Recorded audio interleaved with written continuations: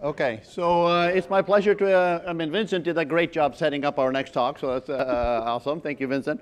Uh, my pleasure to introduce uh, Gabby Rowe, uh, Executive Director of the ION, and you'll learn more about the ION, so I'll just leave it at that.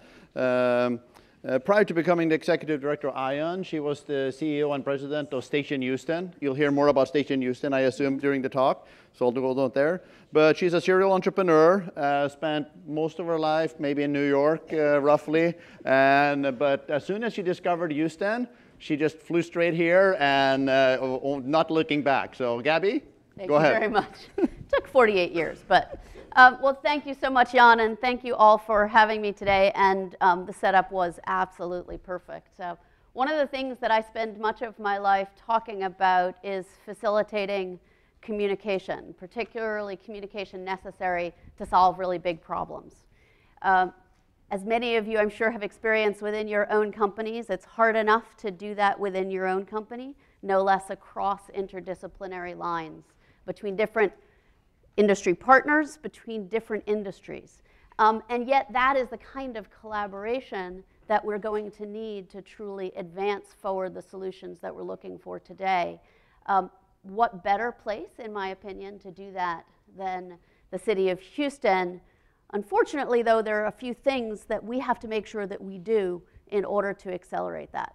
So I'm going to talk today a little bit about where Houston has been, where we're going, and then how we can use infrastructure, in particular the ION and the Innovation District, to help all of you continue to drive forward those solutions and to build the talent that was um, referred to in the last question.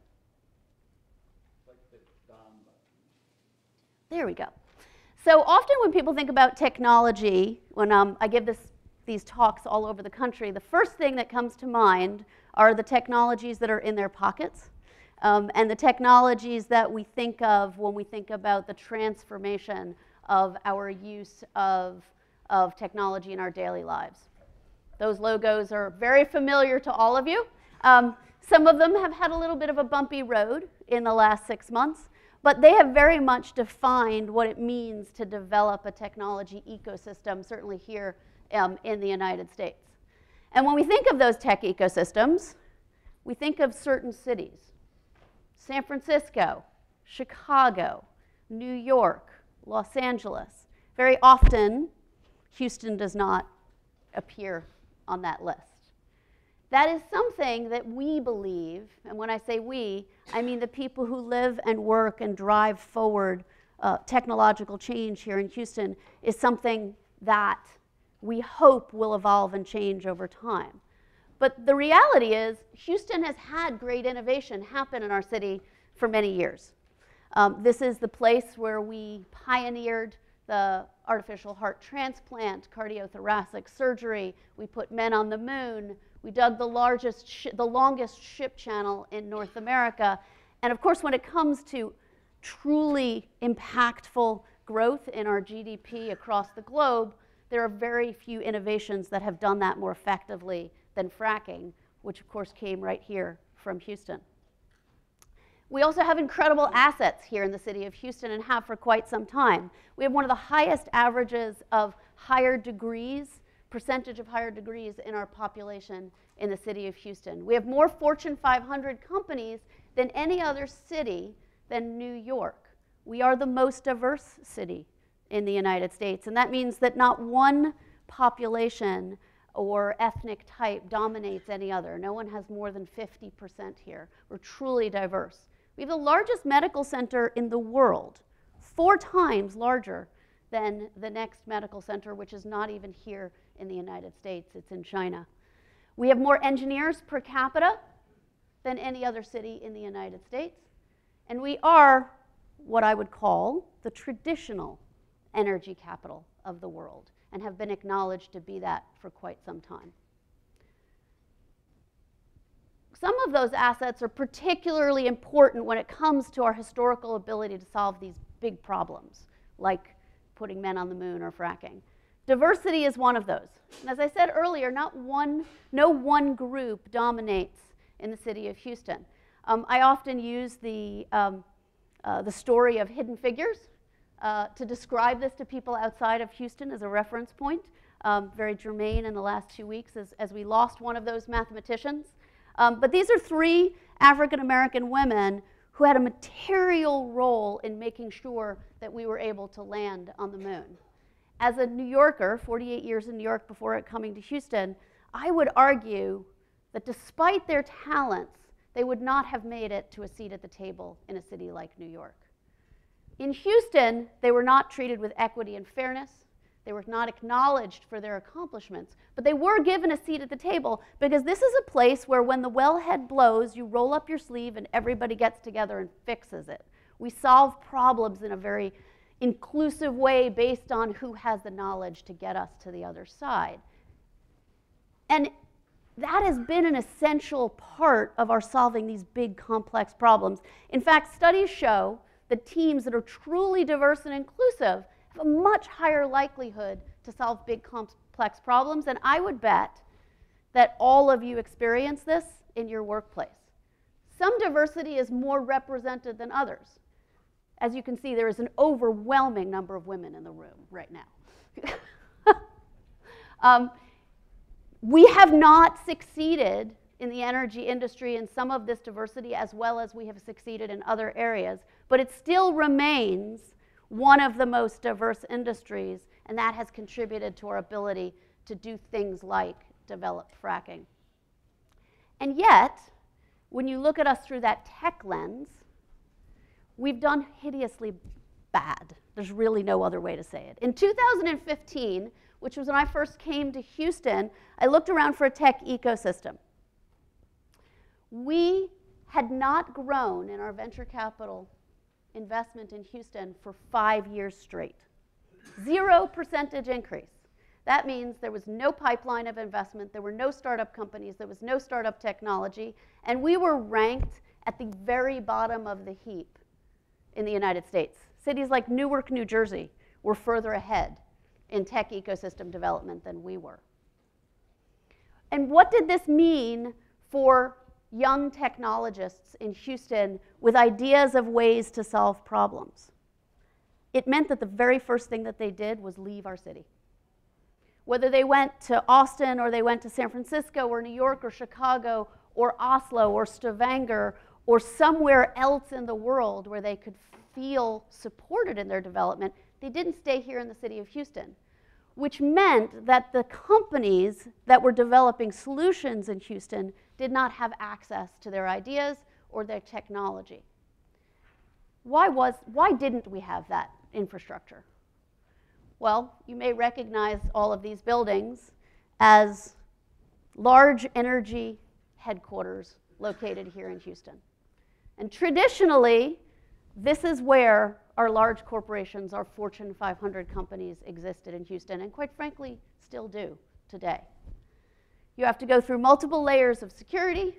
You are on an enclosed campus where you only meet the people that you work with on a daily basis, meaning they're in your department, they think the way you think, they work on the same set of unified one R&D that you do. No one questions it.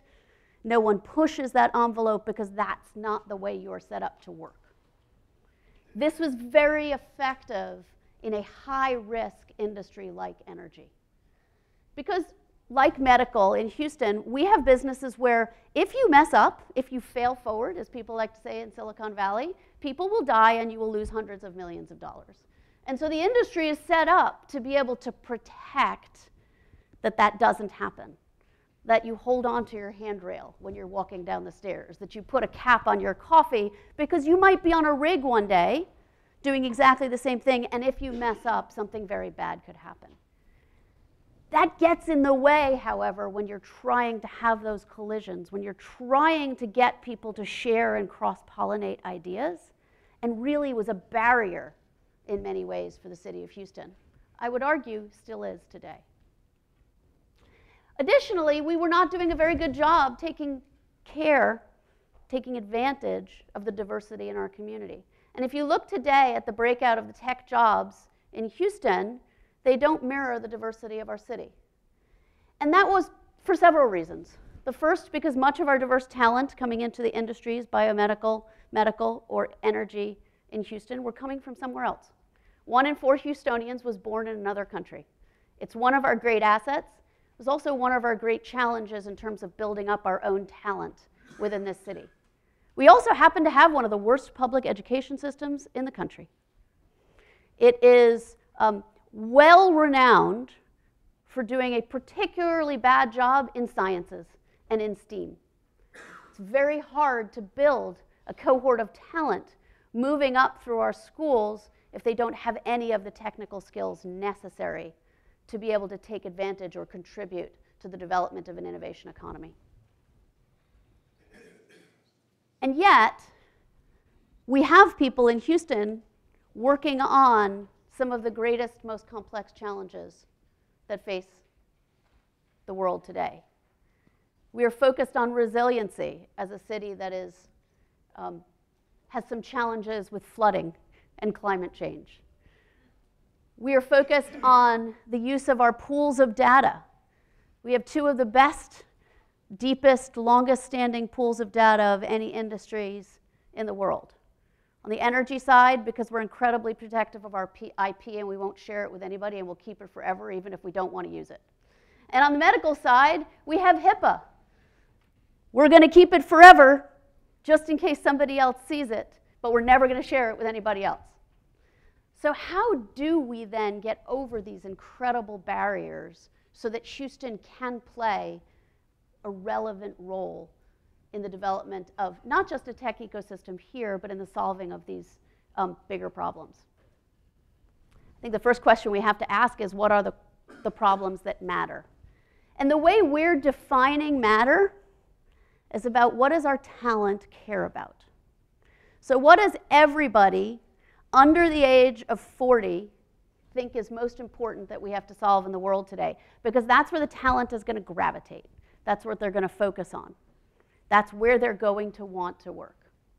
And these are fairly uniform across the globe. Equity and access, mobility and social justice, new forms of energy, carbon emissions and decarbonization, and many of those feed directly into the area that most talent wants to focus on, which is figuring out how to contend with the climate crisis. A year ago, this was a really, really hard conversation to have in Houston. Two years ago, you wouldn't go into CERAWeek or any other conference that was going on and even hear the word decarbonization.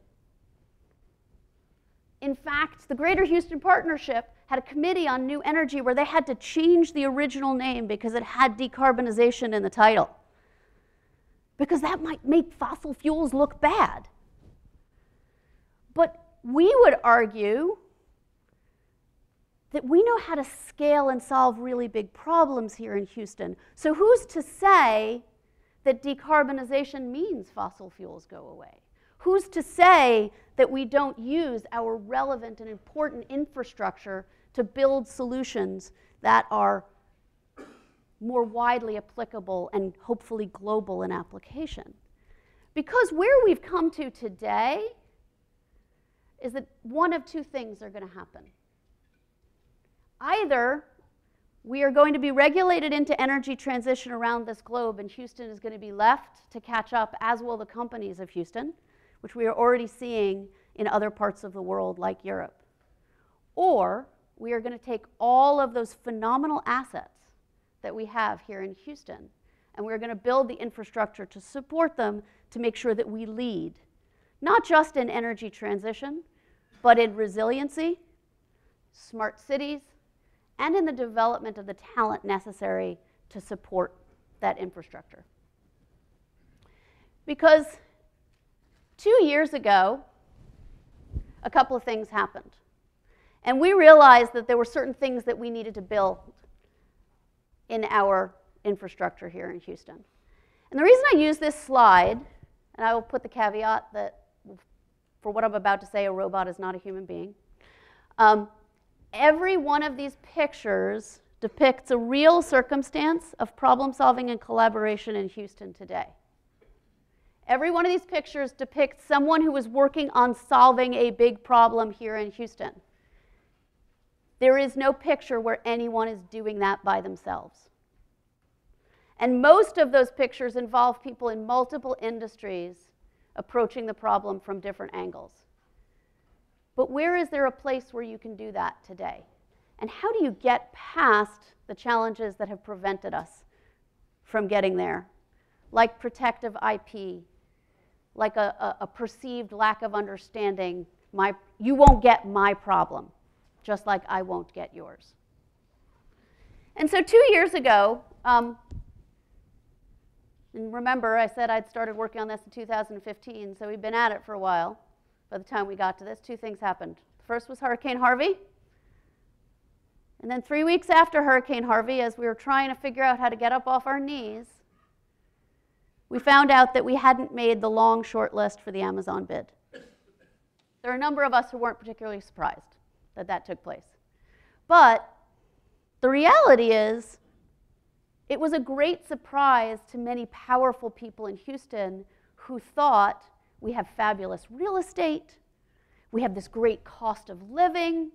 What better place for an Amazon to come and build out their second headquarters? And what Amazon said to us was, you are missing the two most important ingredients that we believe are successful for innovation and for our company. And the first was talent, and the second was infrastructure. Well, we talked earlier about our DNA and what we have here is an asset, and we actually do have incredible talent. But, as I said earlier, that talent is coming from other places, not from within our city. And infrastructure, they couldn't have been more right. Because if you do, in fact, want to collaborate with someone else to solve a problem, other than coming to a conference like this or going to academic research facility, where do you go in Houston? It's this vast, sprawling place with these incredibly tightly secure companies where you don't even know who to call, no less what problems they're working on solving. So imagine being a startup technology who's come up with an incredible way to cap flares or particulate. Who do you call? You want to go talk to Exxon. You want to go talk to Total. Where do you start? How do you not get lost in that morass? Well, what you do is you pick up and you go somewhere else. And so, all of us who were sitting around the proverbial table trying to figure out how to help Houston off its knees post Harvey started asking the question of how do we solve that infrastructure problem? What do we need as a city to truly accelerate and truly transform the way in which we've innovated in the past? And um, the reason I use this slide is because um, go back in time to 1939, even further back than the slide rules. And who was the Amazon of the day? Who transformed retail? Any idea what that is on the, on the left-hand side or the right-hand side? The Sears catalog in 1939. And you could get anywhere in the United States, in your mailbox, in your post office box, in your mail um, facility in your tiny little town, you could get the Sears catalog. Anywhere where a package could be delivered, and you could order anything. You could even order a house, which you see up there in the top corner, and they would deliver it to you anywhere in the country. Completely transformed the everyman's access to goods that they never knew were imaginable at prices that they could actually afford. Fast forward to today, what does that sound like?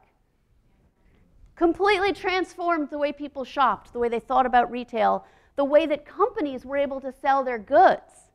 And in 1939, Sears decided to go beyond the catalog, actually in the early 30s, and they decided to open their first retail store for the everyman. Because department stores in, in, the, in the 1930s were the purview of the wealthy. They were in New York, they were in London, they were where the ladies who lunch went to try the newest perfume or get a scarf from Paris. They weren't where the everyman went to buy something for their kitchen or a suit because they were going to have a job interview or go to court. And so they picked the city of Houston for their first prototype store. The city of Houston in 1939 was a frontier boomtown. And they built this, if you look at the streets, most of the streets surrounding it in Midtown were dirt. And suddenly they built this huge structure designed to sell goods to every frontier pioneer, farmer, rancher, oil man that would never be able to do that before. It was the first air conditioned building in the city of Houston. It was the first escalators in the United States. I often compare it to the casino where they put you in a dark, cold structure and, and pump a lot of oxygen in. But this was Sears' test to see if this worked. And of course, they expanded that model very rapidly through the 1940s across America. What does that mean today in Houston?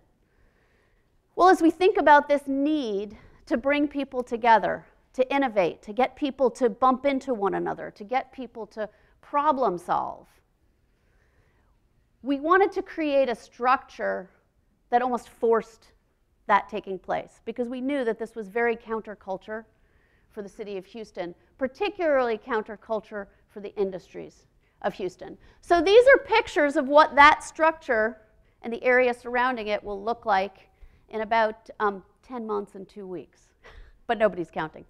Um, and we decided, and when I say we, I mean um, Rice University, those of us working on the ION project, that rather than doing what we typically do in Houston, which is to tear something down and build something again, we decided to build off of that history and really think about what is it about Houston that makes us uniquely suited to solve the problems that matter to the world. And it takes us right back to that wellhead. It takes us right back to the problem solving roll up your sleeves, get it done. It takes us back to those inclusive teams that people put together to develop solutions. So when I got to Houston five years ago, a lot of people kept saying, How do we become Silicon Valley? How do we become New York? Or how do we become Austin? And we could answer that question if we hadn't been successful ourselves, but the reality is we're incredibly successful economically as a city. So instead, the question we started asking is how do we become a tech enabled version of ourselves? And what that means is developing a physical structure, a center of gravity, where we can begin to create the counterculture that isn't going to work within an isolated campus for an isolated company. Because, as I said earlier, the, the risk profile of the companies in Houston was come by honestly. To go into our energy headquarters and say, we're now going to have everybody just gather in open spaces together, we're going to share IP, we're going to fail forward and test things, would disrupt an industry to the point where it would fail before solutions were developed. So what we wanted to develop was a space where those industry partners could come together to work on those solutions and also work with the tech talent that we wanted to attract to solve the problems we care about. So it's a six-story structure. Uh, it was originally a four-story structure that we're adding two stories on top of. It will be about 300,000 square feet when it's finished, and it is extremely open and accessible space to the point where, for everything but the top floor, all amenities are shared. Any tenant who comes into the building does not have isolated restrooms, does not have isolated kitchens. They're all shared throughout the structure, which is actually fairly commonplace in other cities and other industries. It's fairly radical when it comes to energy and biotech. And so on that bottom floor, we thought about where does it need to start? Where do we need to begin to stimulate the conversation and the talent? And so at the bottom floor, the lower level, there is a big forum stairs that terminates. It's got seating for about 500. There's a light well. See those yellow spaces that go all the way up, and you see cut on the left. There's a light well from the top of the building, because remember, as I said, they made it really dark and cold, so you'd stay there and shop. The challenge for that is that it was really dark. Um, in fact, it was the fallout shelter in the 1970s. So, so we cut a 30 foot by 90 foot hole in the ceiling to bring sunlight down to the bottom of those forum stairs. And on those forum stairs are conversations like these. But instead of having just high performance computing oil and gas professionals sitting in the audience together because you knew to sign up for this conf- conference, we will have students from academia who will be wandering through and coming and sitting on those stairs. We will have professionals from biotech who will be coming through and sitting on those stairs. We will have many industries congregating and moving through the space who will hear a lecture going on and saying, oh, I didn't realize they were working on the same problem that I'm working on. I'm going to give that person a call. Or I, perhaps I'm standing next to that person at the cafeteria or the coffee line, and I say, I heard your speech this morning, and I wanted to ask you a question about something I'm working on that I think applies. So on that bottom floor, you have incubation of startup companies. That's where Station Houston, powered by Capital Factory, will be. We have a full XR lab for immersive reality and industrial testing that's going on into that floor. We also have the first public co-working of anywhere in the city of Houston that we are pioneering with the library department so that Houstonians all over Houston can have access to this thing called co-working, not just in Class A buildings that are being put in more affluent areas of the city. We're also going to be putting um, academic classrooms and workforce development classrooms. Uh, about a year and a half ago, we formed a group called the Academic Partner Network, and that is a network of the 11 schools uh, that are headquartered here in Houston. Um, that list of schools is now increasing on a Texas-wide and a national basis. Those schools have come together to develop collaborative programming that they can offer out of the ION, not just for their own students, but for industry partners who want to work on things like data science, but also for workforce development for our HISD schools and our other universities and two-year colleges here in Houston.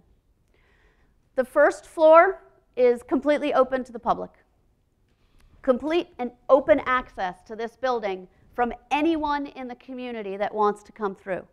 And on that floor will be a robotics lab that we are doing with NASA to focus on the interaction of human beings and robots. Houston Exponential will also have their headquarters there there will also be a venture capital studio so that anyone who wants to invest in companies in Houston has a landing pad. And at that landing pad, they can meet startups from all over Houston. Because one of the greatest complaints we've had is when I come to Houston as a VC or an investor, I have no idea where to go. And if I were to go to each of the startup development organizations and hubs around the city, I would spend five days traveling and one day meeting startups. And so we built a facility in this building where we will bring the startups to you, and you come as a VC, and you can have as many days as you want on a membership basis to set up your offices there. The next floor up is co-working specifically developed for tech startups.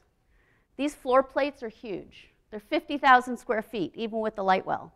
So there's room for 70 to 100 startups that are specifically focused on the tech that we need to solve industry problems that will be located on that floor.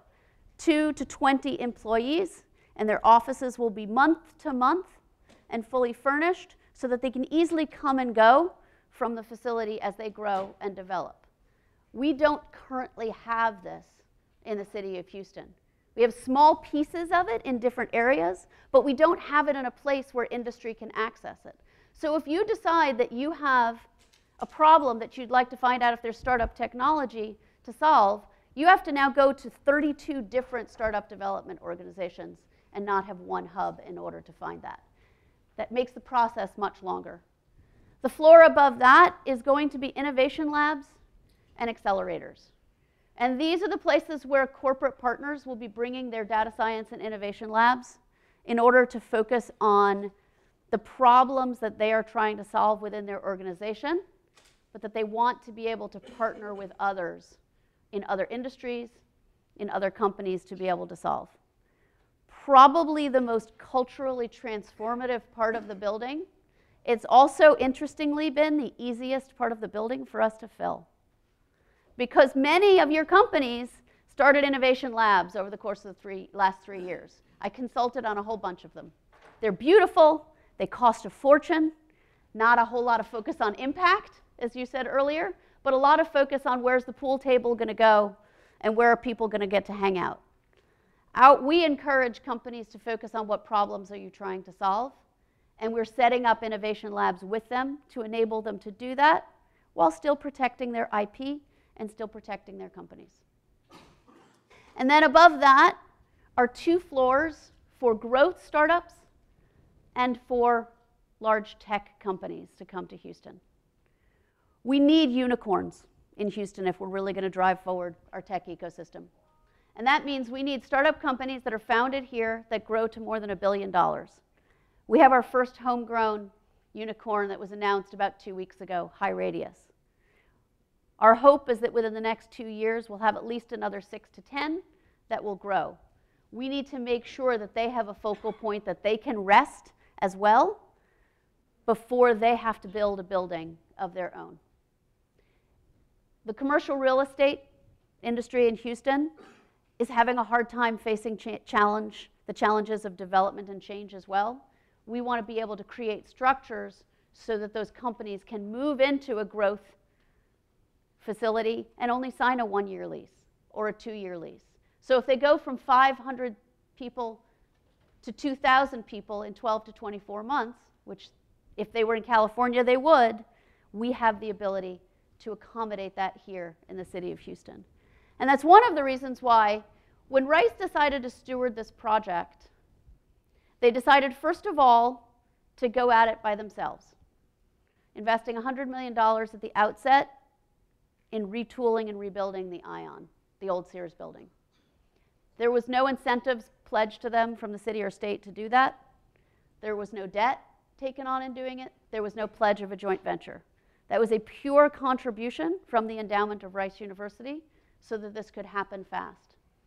Additionally, they bought up another 12 acres of undeveloped land right around the Ion to create a walkable district. Because the other thing that talent has told us is they don't want to own cars. They want mass transit. We don't have a lot of mass transit in the city of Houston.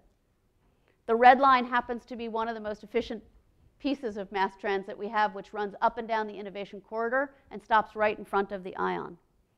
So Rice is committed to taking that 16 acres and building 30% residential, building, making a commitment to a lower 40 of each building that is entirely permeable to the public, either through restaurants or shops or open plazas, and committing to green parks and publicly accessible spaces to bring people from the local community into what tech innovation means in the city of Houston. We believe that the only way we're going to transform Houston's culture of innovation, historical cultural innovation, which is highly siloed and highly secretive, is to build the kind of space that will force Houston's innovators and force Houston's companies and enable Houston's talent to drive forward that material change. And in January 2021, I look forward to seeing all of you there and welcoming many professionals from many different industries to come to the ION to solve the problems that matter the most. Thank you.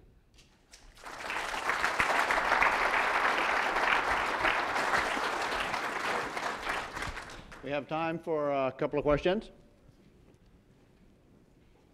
We have one up here, so.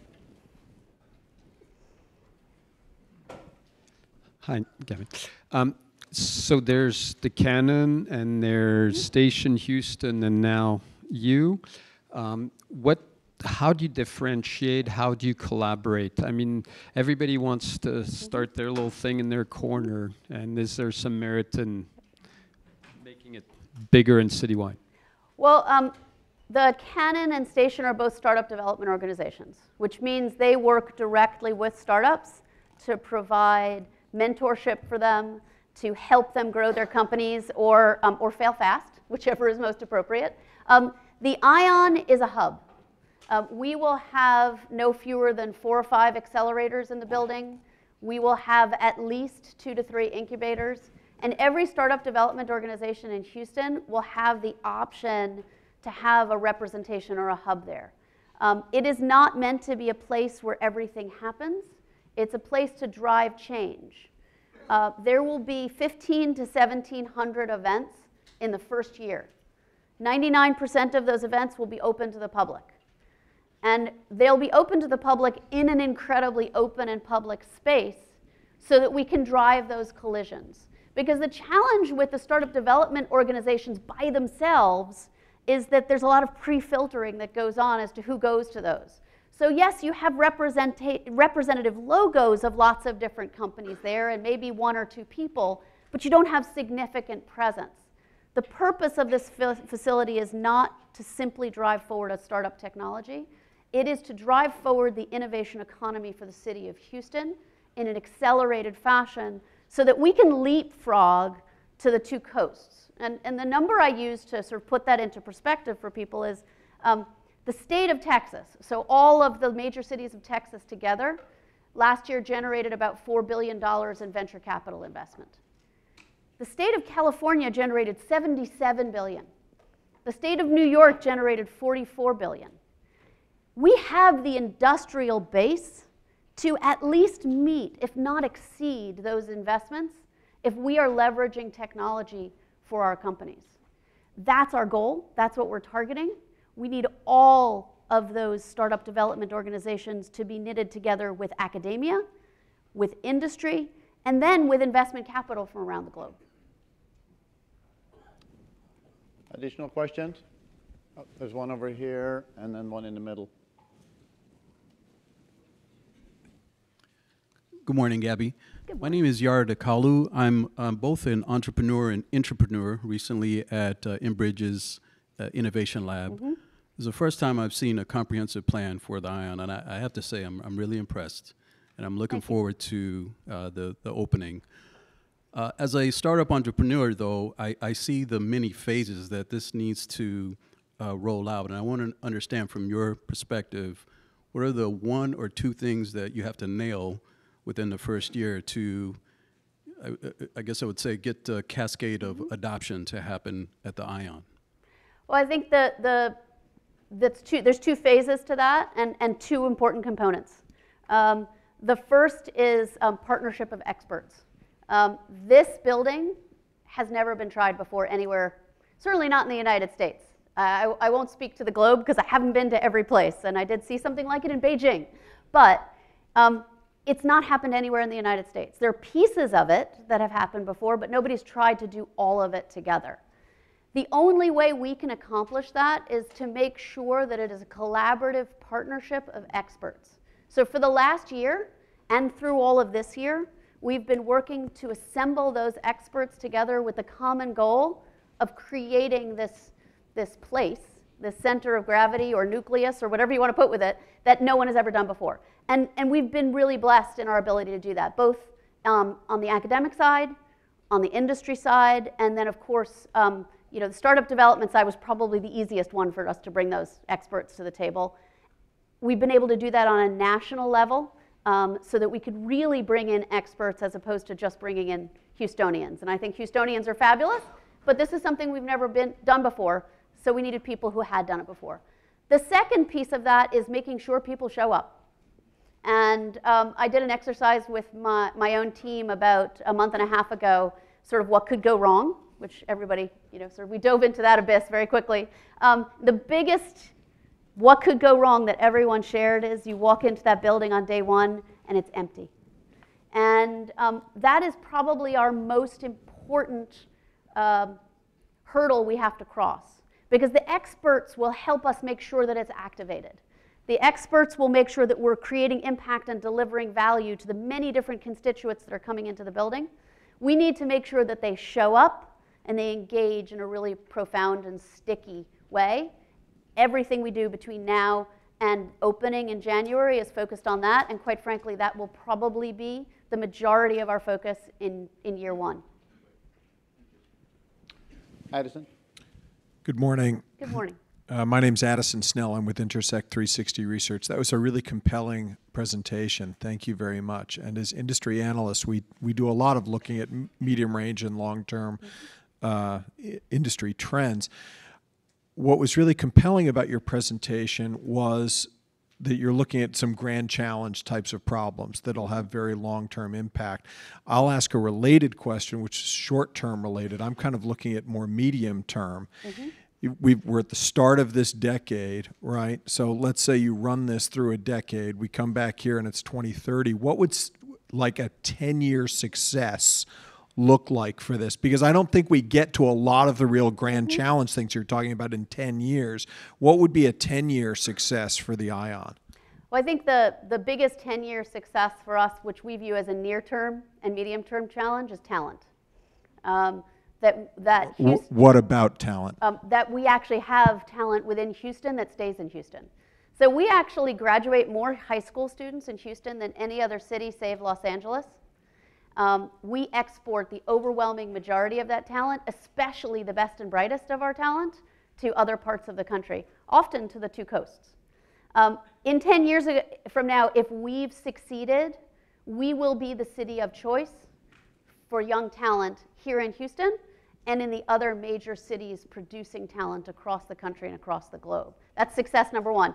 Success number two is that in driving toward those big problems, which are aspirational and long term, we will have already solved a, a, a, a majority of the small problems we bump into along the way. We will have moved the needle such that Houston is perceived, this is connected to talent too, that is perceived in the world outside Houston as the place to be if you want to drive forward material change, particularly in the area of energy transition.